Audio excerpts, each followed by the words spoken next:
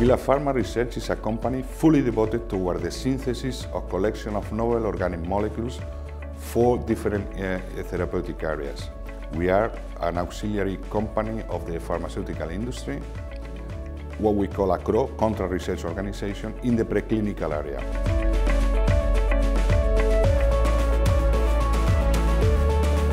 Well, regarding some recent projects uh, uh, that we are carrying out on our own, I should uh, maybe uh, mention the one we are uh, involved together with a company in Germany and another Spanish biotech in Cordoba regarding the use of uh, new molecules for immuno-oncology in cancer stem cells.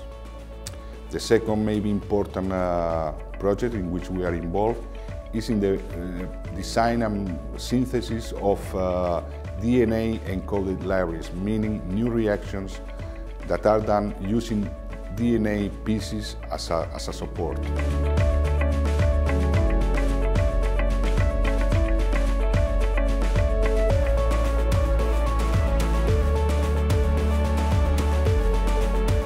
Well, Villapharma is in this uh, technological park since 2008.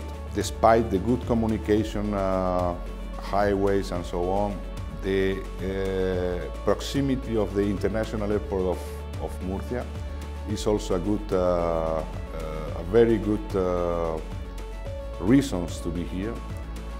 In fact, we are now planning to expand our facilities in this park and also mention that uh, the good collaboration with the university buildings which are also in the same campus is also for us quite important.